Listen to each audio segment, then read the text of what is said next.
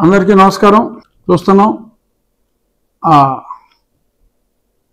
లడ్డూ వ్యవహారం మన రాష్ట్ర పరిధి దాటి వెంకటేశ్వర స్వామి భక్తులు దేశం అంతా ప్రపంచంలో కూడా హిందువులు ఎక్కడున్నారో అదంతా అందరూ మాట్లాడుకుంటున్నారు. కల్తీ జరిగిందన్న మాట వాస్తవం.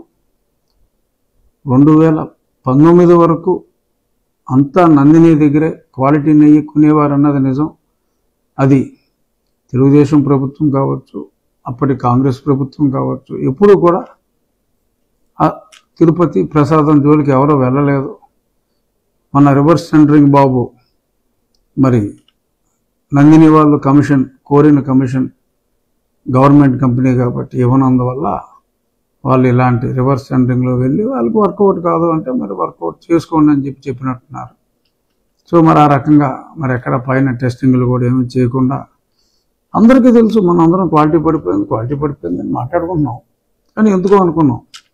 ఇదివరకు పది రోజులు ఉండేదిరా నాలుగు రోజులు పడిపోయిందిరా అని ఇలాగా మా జిల్లాలో. ఏందన్నా రెడ్ క్వాలిటీ ఎట్ట మారిపోయిందా అని ఇంకో చోట. ఇలా రకరకాలుగా వారి వారి. స్లాంగ్లో మాట్లాడుకున్నారు. అది నిజం.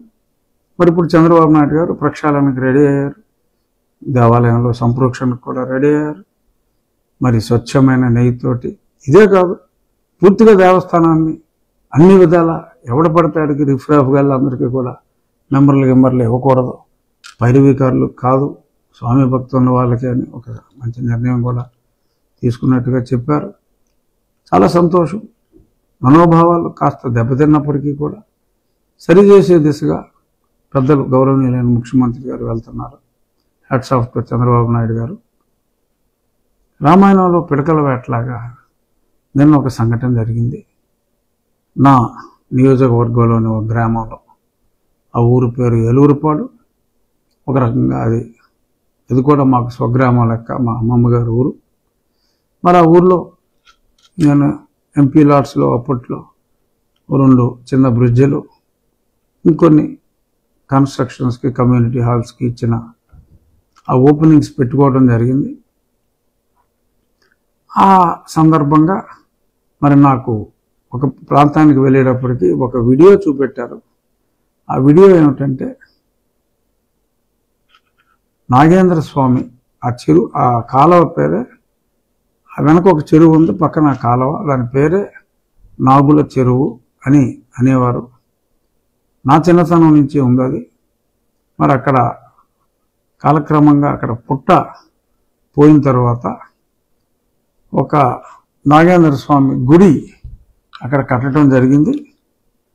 ఆ నాగేంద్ర స్వామి ఆ గుడి పక్కనే వినాయకుని గుడి ఒక పక్క సాయిబాబా.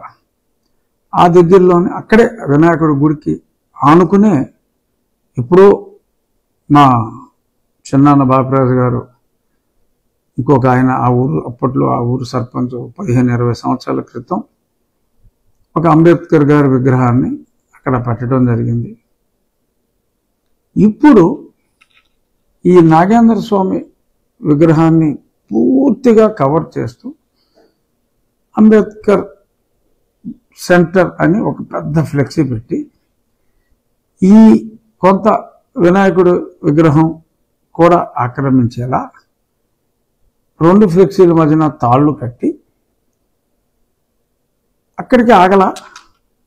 ఆ నేను వచ్చే ముందు కావాలని ఆ నాగేంద్ర స్వామి పుట్ట మీద ఇద్దరు వ్యక్తులు వాళ్ళ రిలీజియన్ హిందూస్ కాదు అక్కడ కూర్చుని సిగరెట్లు కాలుస్తూ వేరే వాళ్ళు ఎవరైనా ఆ తాడు తీస్తే ఒప్పుకోం ఎవడు దమ్ముంటాడో రండి అని మాట్లాడుతూ మరి వాళ్ళ సిగరెట్లు కాల్చిన ఆ వీడియో చూసిన తర్వాత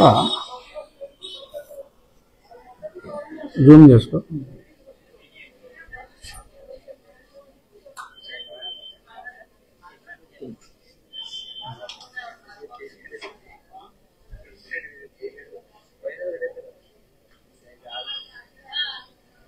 నాగేంద్ర స్వామి గుడి వద్ద జరిగిన ఆ అపరాధాన్ని చూసి అక్కడికి వెళ్ళటానికి కూడా భయపడత భయపడుతున్న ప్రజల్ని చూసి ఇదిగో వీళ్ళిద్దరూ ఎస్సీ ఎస్టీ కేసు పెట్టేస్తున్నారు సార్. పెట్టి ప్రైజ్ మనీ తీసుకుంటున్నారు పోలీసులు వాళ్ళకి డబ్బులు ఇస్తున్నారు. ఏమో పోలీసులకు వెళ్ళి కూడా ఏమైనా ఉందేమో ఫిఫ్టీ ఫిఫ్టీ షేర్ చేసుకుంటారేమో మనకు తెలియదు I'm openly alleging it's wrong so కాబట్టి నాకు అంబేద్కర్ గారు అంటే అమితమైన గౌరవం ఉంది. ఎవరో రిఫ్రాఫ్గా నోటుకు వచ్చినట్టు మాట్లాడి ఇలా వీడియోలు పెడితే భయపడేవాడిని నేను కాదు. ఏ తప్పు చేయలేదు కాబట్టి ఓపెన్గా చెప్తున్నా as to get an entry for my colleague Hindus to the temple I have remove the obstruction of one bamboo stick పక్కన వేసుకోవచ్చు. ఊరిని మూసేస్తారా? పట్టున కూర్చొని సిగరెట్లు కాలుస్తారా? ఆ గుడికి మమ్మల్ని వెళ్ళినవరా ఎవడొస్తాడో చూస్తూ ఉంటారా?